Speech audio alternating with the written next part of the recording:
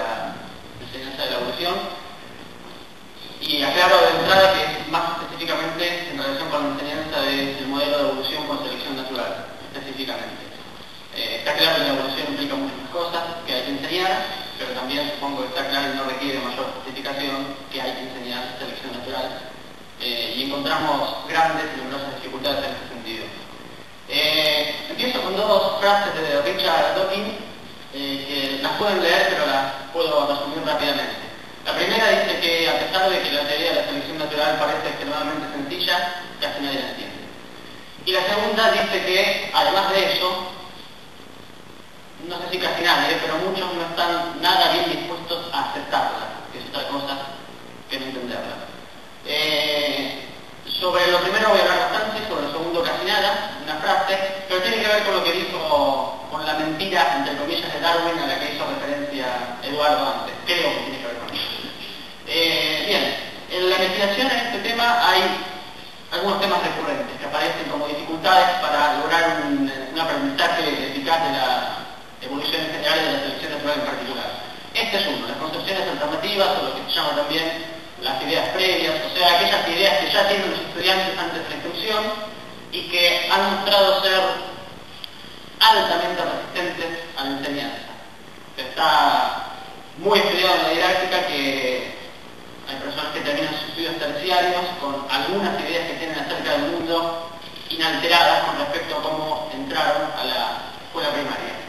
Y en este tema, en la literatura, aparece la presencia de las composiciones religiosas, de concepciones que se suelen calificar de la marquiana, no voy a entrar en esto porque eh, el tiempo es tirano, pero me parece un adjetivo muy poco feliz por varios motivos, el tiempo y ganas en la discusión lo podemos mencionar. Pero lo que sí seguro aparece recurrentemente como parte de estas concepciones es la idea de que los individuos nacen con aquellos rasgos que necesitan, o sea, la idea de una variabilidad individual dirigida, la idea de los caracteres de, de herencia, los caracteres adquiridos y la idea de tendencias evolutivas determinadas, clásicamente dirigidas a la producción del ser humano, por supuesto.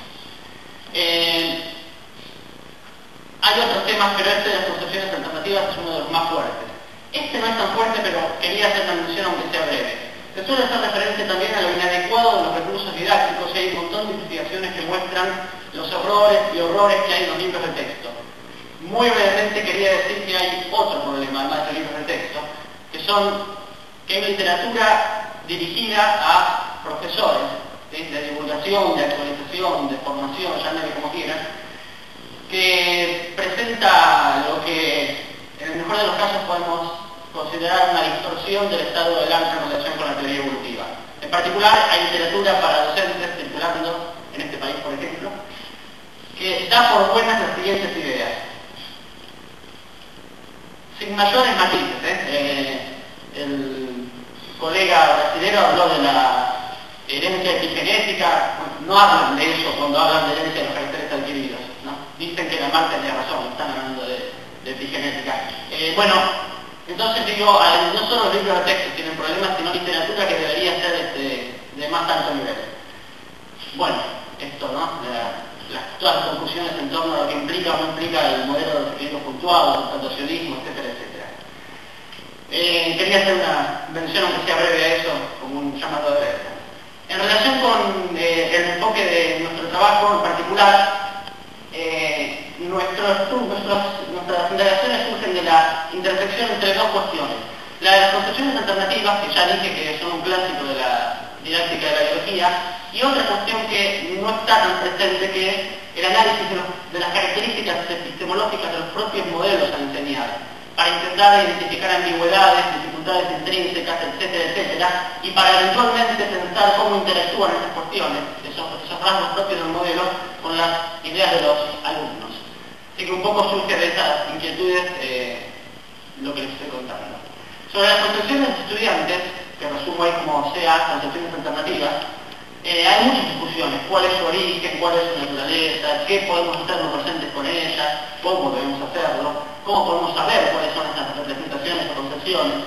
Eh, y en relación con la cuestión de su naturaleza, de qué son exactamente, hay una discusión que se puede plantear en términos de dos extremos. En un extremo podríamos creer que las ideas de los estudiantes, erróneas o alternativas, son barbaridades improvisadas en el momento, hijas de la ignorancia, y en el otro extremo hay quienes dicen que al menos en parte estas ideas tienen que ver con estructuras de pensamiento profundas que tienen una lógica interna, que tienen una funcionalidad interna, etcétera, etcétera aunque no sean compatibles con el modelo científico que queremos enseñar.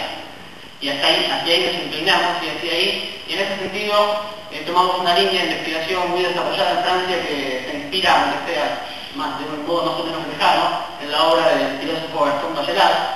Esta es una frase muy citada en relación con la idea de obstáculo.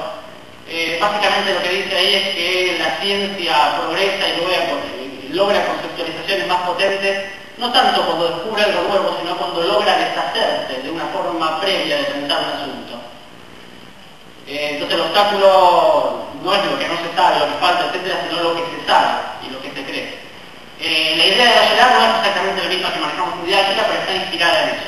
De hecho, la idea que manejamos en didáctica hay varias, pero nosotros tomamos esta definición.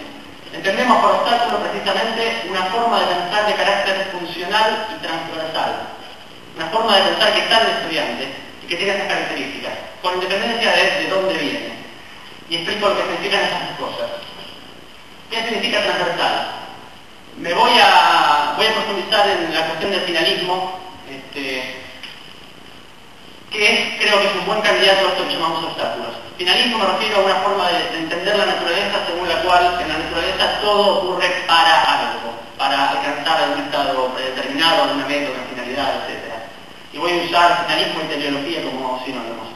Eh, esta idea, que rara vez un estudiante la expresa de este modo, en realidad aparece en infinitas formas de ver el mundo que los estudiantes sí expresan, en frases como estas que ustedes conocen, que son clásicos. Bueno, las bacterias mutaban para hacerse resistentes al antibiótico. Eh, eso o los dinosaurios se extinguieron para que los mamíferos puedan evolucionar y, de este modo aparecer el hombre. Eh, y en, distintos ámbitos aparece esto. Entonces, la idea es que debajo de todos esos errores o esas ideas locales, me refiero a que son ideas que se refieren a una cuestión precisa, la resistencia al antibiótico, no, no al mundo, a una cuestión precisa.